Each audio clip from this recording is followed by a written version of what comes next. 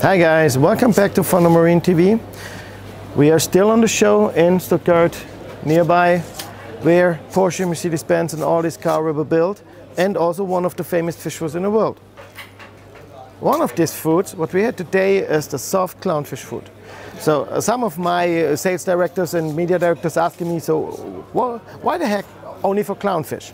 no guys, the food is not only for clownfish, but it is made to improve red and white colorations, also black coloration, and with a very strong contrast in the coloration of, this, of these fishes. Clownfishes are a very special fish due to the to the kind of colors they have and due to this very nice white bendings or white pattern which they have today, which they have on their body.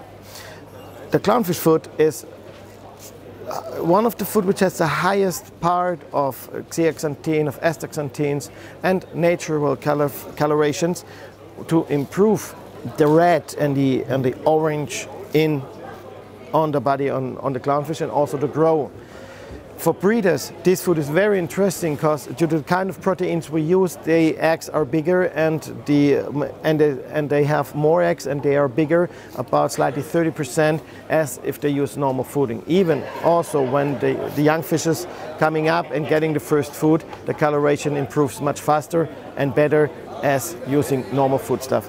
That's why we have high protein stuff. It's 100% natural and it's produced here in Germany. And we test it and use it by ourselves in our big in our big systems um, to check all that time.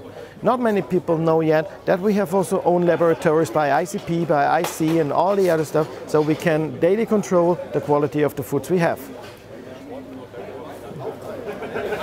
Try it out, ask your dealer for clownfish food. It will be also eaten by tangs and angels or any other kind of fish and it will also there improve the coloration.